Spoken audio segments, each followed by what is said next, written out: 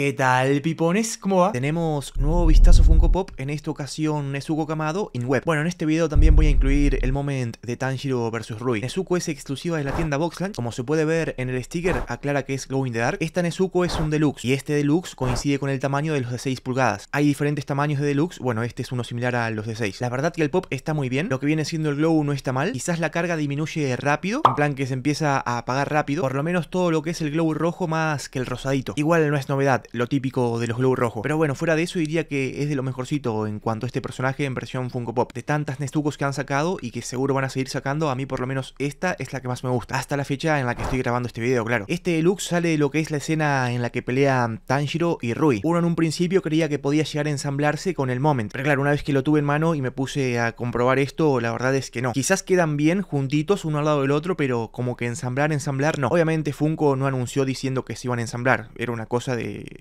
idea del coleccionista, ¿no? Lo que es el Moment, nunca le había dedicado el vistazo en el canal. La que es una joyita y es un Moment común, no es exclusivo de ninguna tienda. Teniendo en cuenta que los últimos Moment a mí por lo menos no me terminan de convencer, este diría que es uno de los últimos y mejores que han sacado así en cuanto a diseño, ¿no? Bueno, en cuanto a diseño, detalle y por ser una figura normal. Lo he visto hasta en recontra rebaja. Por ejemplo, el último que se filtró de Eren y Zeke o el último de Naruto vs Pain a mí por lo menos no me gustaron. Estamos hablando de otros títulos, pero bueno, los detalles quedan a deber. En fin, déjenme saber en los comentarios qué les parecieron Ahora sí no tengo mucho más para agregar.